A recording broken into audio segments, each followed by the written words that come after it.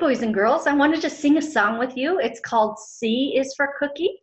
So before we start, I want you to get your hands and cup them like this and make them into a letter C. Good. Okay, let's sing it together. Here we go.